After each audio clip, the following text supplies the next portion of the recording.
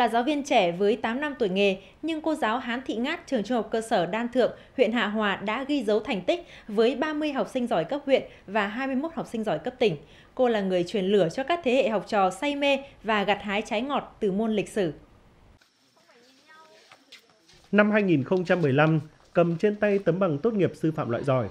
cô giáo Hán Thị Ngát được đặc cách tuyển dụng và phân công về công tác tại Hạ Hòa. Với mục tiêu truyền cảm hứng yêu thích môn lịch sử cho học trò, cô Ngát đã chủ động học hỏi, đầu tư phương pháp giảng dạy mới để truyền tải kiến thức. Trong các tiết học ở trên lớp thì tôi luôn ờ, sưu tầm những cái uh, tư liệu, uh, video và các hình ảnh liên quan bài học để học sinh có thể hiểu sâu hơn về các kiến thức vững vàng về chuyên môn, kỹ năng và phương pháp sư phạm.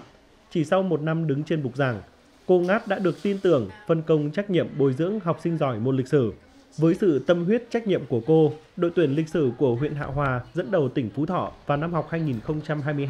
2022-2023 với 17 trên 17 học sinh đoạt giải, trong đó có 3 giải nhất cấp tỉnh. Ngoài việc cô giảng dạy ở trên lớp, em còn ở lại nhà cô để cùng cô học tập. Em đã tham dự kỳ thi vượt cấp học sinh giỏi cấp huyện môn lịch sử và đạt được giải nhất. Sau đó tham dự kỳ thi cấp tỉnh và cũng đạt được giải nhất. Khoảng cách địa lý từ gia đình cho đến là nơi công tác và chỗ ăn chỗ ở thì mặc dù là nó cũng là thiếu thốn về học sinh thì cái lượng học sinh để mà lựa chọn ấy, thì là cũng hạn chế hơn những cái trường trung tâm. Tuy nhiên là cô cũng đã vượt qua được rất là nhiều cái khó khăn để mà có thể là phát hiện, bồi dưỡng được cho các em học sinh là đạt được những thành tích cao.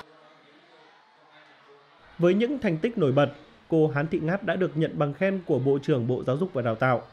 về thành tích xuất sắc trong phong trào thi đua, đổi mới, sáng tạo trong quản lý, giảng dạy và học tập năm học 2020-2021. Ngoài ra, cô còn vinh dự 4 năm liên tiếp đạt chiến sĩ thi đua cấp cơ sở, là tấm gương sáng để học sinh và đồng nghiệp học tập và noi theo.